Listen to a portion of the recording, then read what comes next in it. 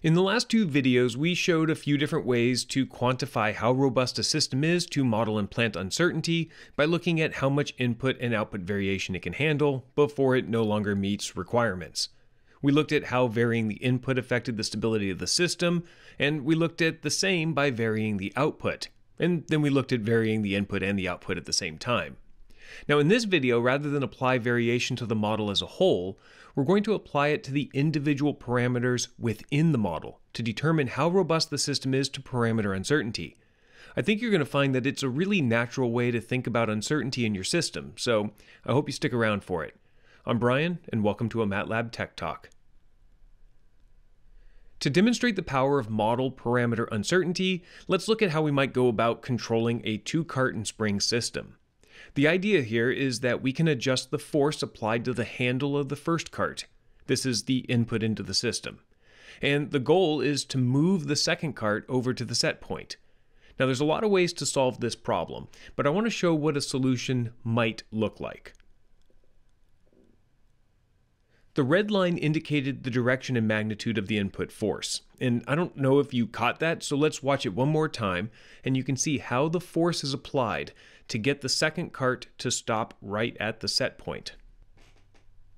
Now, I already said that there's a lot of ways to solve this problem, but let me show you how I approached it. We can build a linear model of the system dynamics using first principles.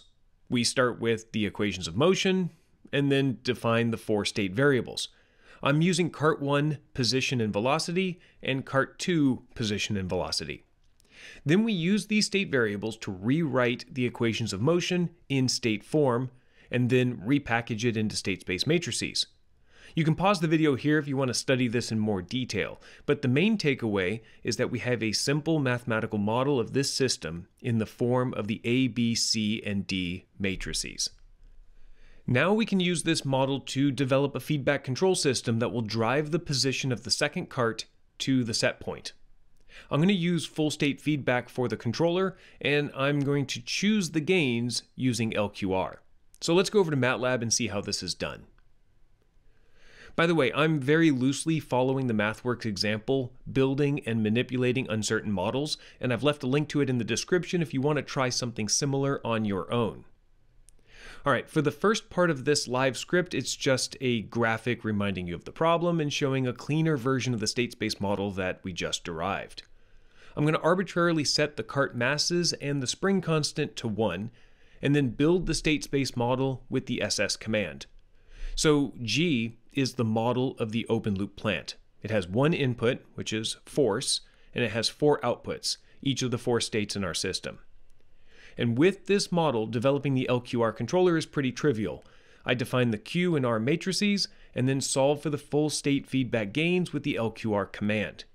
And if you want to know more about this, definitely check out the MATLAB Tech Talk video on LQR. Link is below. Okay, now we can get the closed loop system model with the feedback command, and our control system design is complete.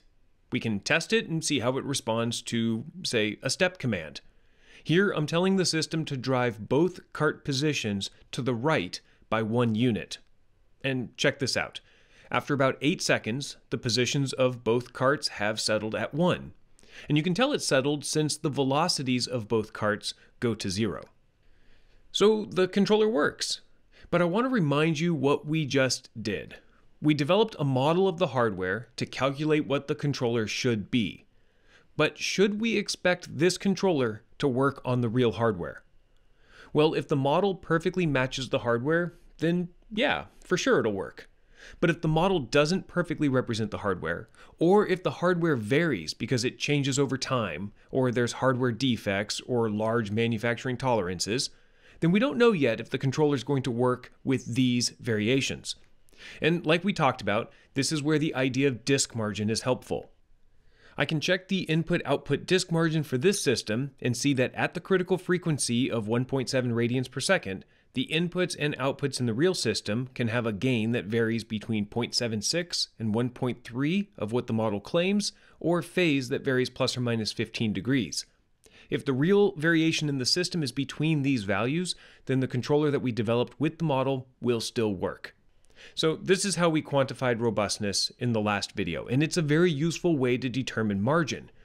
But in some cases, it's not straightforward to relate gain and phase margin back to something physical. Like, it's hard to quickly see how a variation in spring constant affects the phase, or the gain of the whole system. For example, what if we buy a bunch of springs, because we're building a hundred of these devices, and we know every single spring will have a slightly different constant?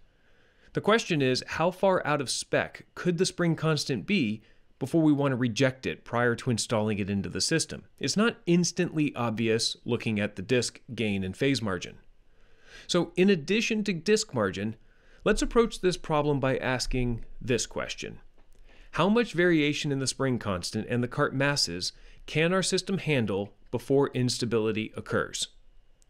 A brute force way to answer this is to build hundreds of models, each with slight variations on M1, M2, and K, and then simulate them all and see which systems go unstable.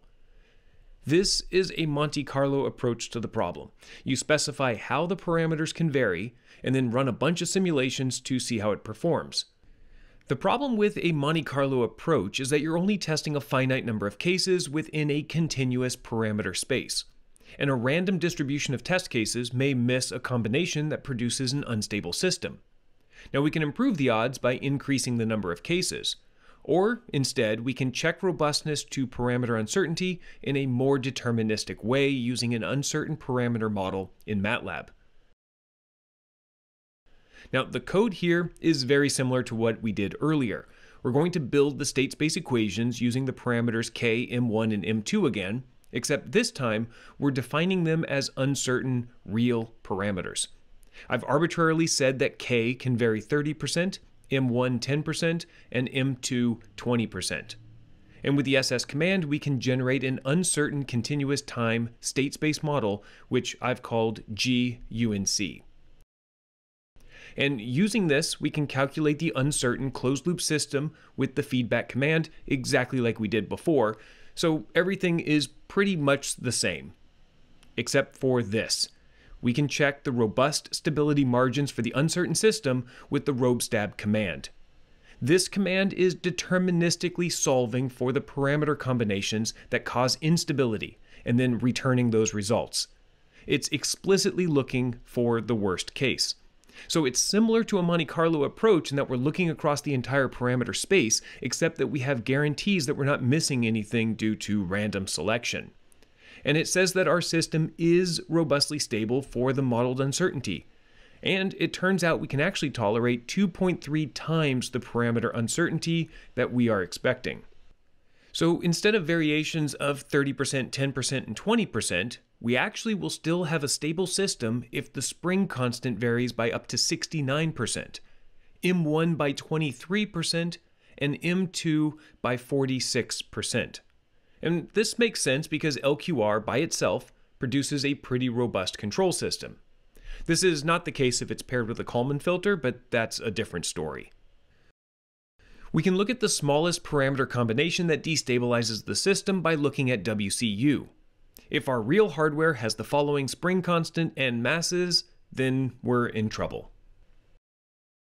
Now, here's something I think is super cool we can plot things like the step response for an uncertain system model. Here's the same step response I ran earlier, but now it shows the effects that parameter variation has on it. And it does this by plotting 25 random systems within the parameter bounds that we set. And we can see that all 25 of these are stable, as expected. So it's sort of like a Monte Carlo approach where we verify stability by looking at a finite number of cases. But check this out. Just to show you that we can miss things with a Monte Carlo approach, let me go back up and change the expected variation to 75, 30, and 50%. Now, we already know that some combination of parameters within this amount of uncertainty is going to produce an unstable system. And in fact, the robstab command tells us this much. We're not robustly stable, and we can tolerate only 89% of the modeled uncertainty. So clearly this isn't a design we'd be happy with if the parameters truly vary this much.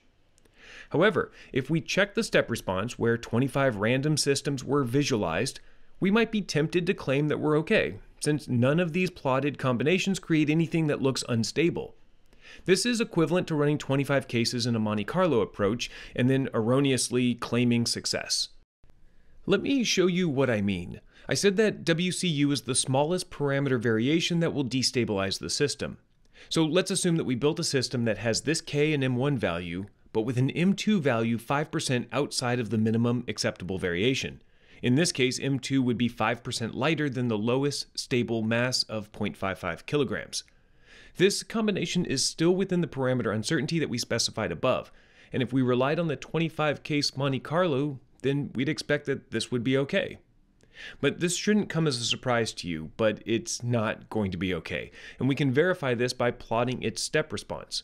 I'm going to extend the simulation time to 100 seconds because it'll highlight the difference between what the 25 cases is telling us and the reality of the situation. And there it is. Now, I definitely cherry picked this case for the video, and in reality, we wouldn't just run 25 Monte Carlo cases, we'd run hundreds or thousands and increase our odds of covering the entire parameter space. But hopefully, with this example, you can see how a deterministic approach, like we have with an uncertain system model, is more reliable for determining robustness to parameter uncertainty than a statistical approach. All right, that's where I'm going to leave this video. I hope you can see the value in quantifying parameter uncertainty and using it to assess how robust your system is to parameter variation.